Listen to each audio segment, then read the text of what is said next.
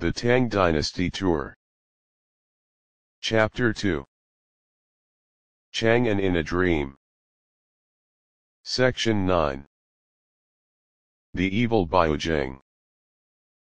Li Jing, who had always been as stable as Mount Tai, fell to the ground and burst into tears. Li Er was puzzled, and so were the ministers. Seeing that Li Jing's grief was not a temporary act, tears came down, his voice became hoarse, and he kept asking His Majesty to give him a long vacation. He was going to find his brother to comfort his longing for many years. Passion is everywhere. Yunye rubbed his butt and sighed secretly. He just made such a big move with a little test the dignified general will abandon thousands of troops and horses, and his beautiful wife and concubine will run to find a legendary black charcoal head. The relationship between the two has long surpassed friendship and turned into a broke-back mountain. Could it be that he and the bearded guest are a pair, and Hong Fu Nu is a strange third party? Yun Ye, tell Li Iking where the bearded guest went. Don't hide it. Li Er estimated that he was annoyed enough and roared at Yun Ye. Report to your majesty, the bearded guest went to Baojing, and probably won't come back.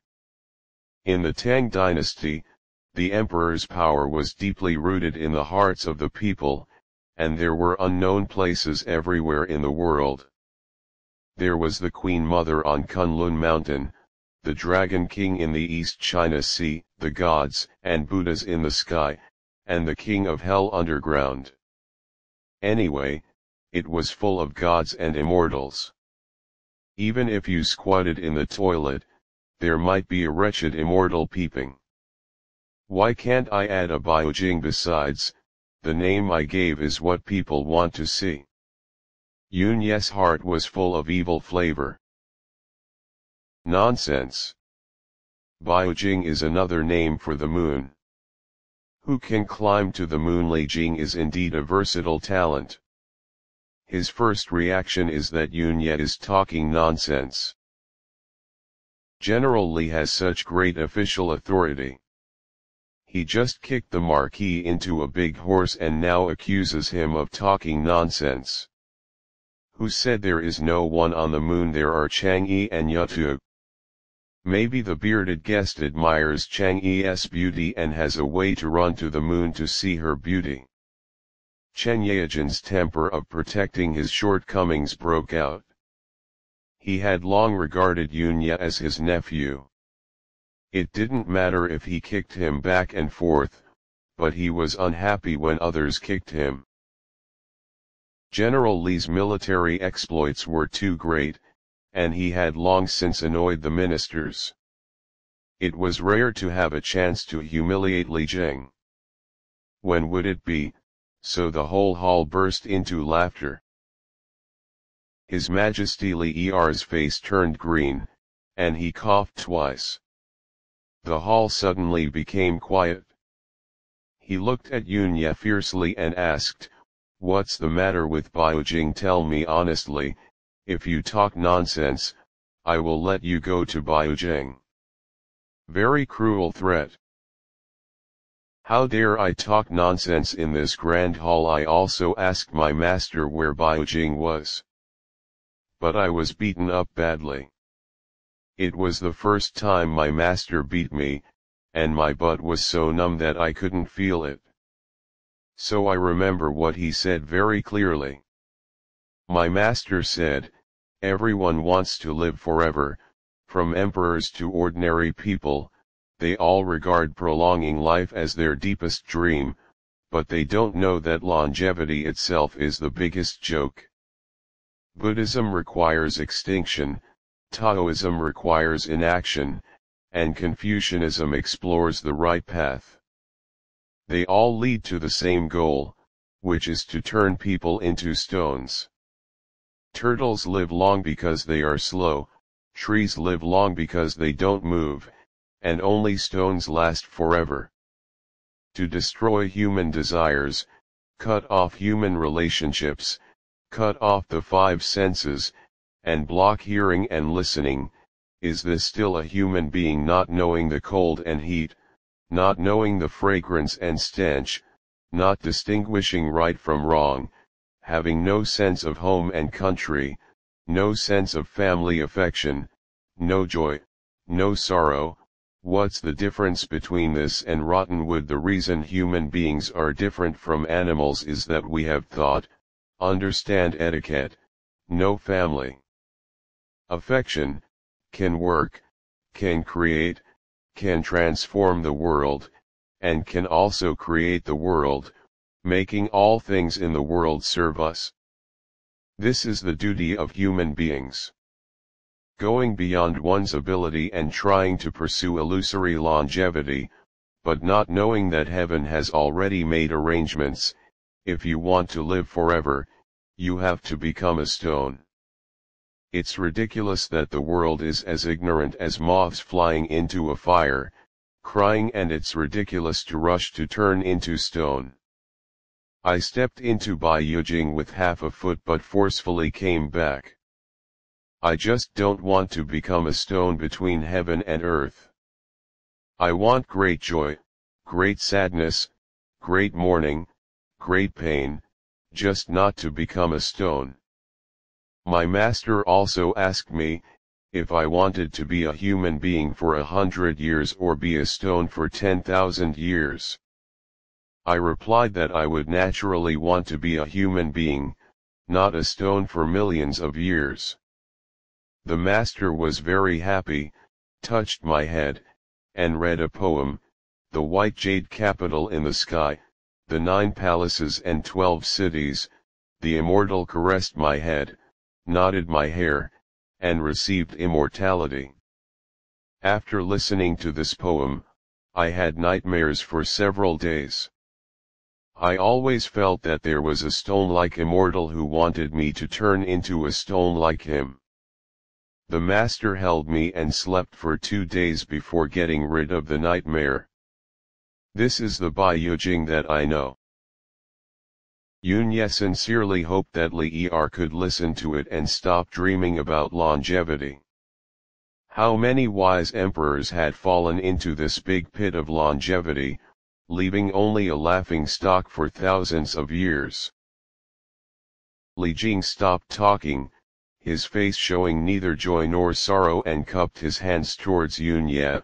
I wonder if your master has ever mentioned how my brother the bearded guest is doing just now, Li was rude. I hope Marquis Yun will tell me the truth. Uncle Li, I'll tell you the truth. Please don't be angry. Then he bowed to the civil and military officials in the hall, Junior will repeat what my master said. Please don't blame me, your majesty. All my uncles, please bear with me.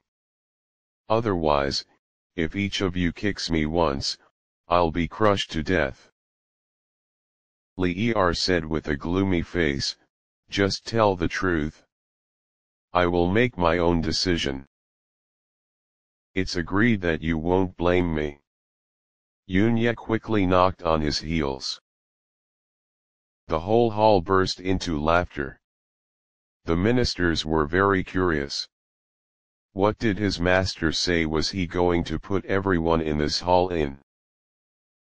My master said, the more idiots like the bearded guest go in, the better. Now that the world is beginning to be governed again, I wish that all the scourges in the world could go in and become stones so that the world can be more peaceful for a few years. The bearded guest probably can't get in yet. He has obsessions and worries that he can't let go of. Even if he goes to Baiyujing, he won't die, but he will lose a layer of skin. As soon as Yunye finished speaking, he ran behind the pillar and hid, determined not to come out. Li Jing was filled with anger. When he thought of the bearded guest's life and death, Yunye's master was gloating over his misfortune. he wanted to catch Yunye and vent his anger. Seeing that he was hiding behind the pillar and it was not easy to catch him, he could only say hey and stop talking. Fang Xianling came out with a smile and said, Your Majesty, I think this is a bit rough, but it makes sense. Those who stir up the world are all people with great abilities. If all these talents are put into Baojing, I will be willing to follow them even if I am shameless. Her her her. For a while, the entire court was scrambling to go to Baojing. Of course, some were trying to raise their worth, such as the old fool Yuchi. You were originally just a piece of stone, what are you fighting for? Li Er's court became a vegetable market, and it was very noisy. Li Er frowned and coughed for a long time before stopping the minister's nonsense. Seeing Yunye hiding behind the pillar and sticking his head out to look outside, he became angry and ordered the eunuch to drag him out. Humph! Turning the court into a market, what kind of system is this since Li Iking has already asked, then the bearded guest's fortune and misfortune are his own doing, so don't be sad. Although he obtained the potato seeds, it was Yunye who offered them to me. I said that I would reward great achievements with a marquee title, and reward hard work with 10,000 gold. I will not go back on my word. Someone, bring up the official attire. Two eunuchs brought up a purple gold crown and a crimson robe. Old Chang smiled and bowed to Li Er, my humble minister's son and Yunye are very compatible. Why don't I put on his official attire for him? Li Er smiled and agreed. Elegant music played on both sides of the imperial platform. The Minister of Rites, Wang Gui, read the imperial edict in an unknown accent, which was very pleasant to hear. Four palace maids slowly came up to remove Yunye's outer garment, take off his golden crown, comb his hair with a comb, tie it into a bun, and put on a crimson robe for him. They tied a jade belt around him, bowed, and retreated.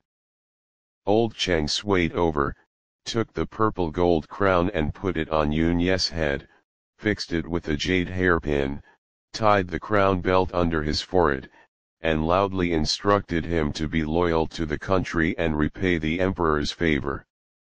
The elegant music stopped, and the instructions stopped. Fang Xianling personally tied the purple gold fish bag on him and led him to kowtow three times and nine times to thank the emperor. Li Er encouraged him with a few words, and the ceremony was completed. The eunuch announced the end of the court session, and Li Er sat on the imperial carriage and left first. The ministers came up to congratulate him, making Yunye at a loss and flustered. Niujinda said with a smile, You have become a real marquis. When will the banquet at your mansion be held? Old Chen took over the conversation, this kid has a good mouth. The food he made still makes this old man drool. It won't do if it's not lively. I'll ask your aunt to take care of it later. Your family is not good enough.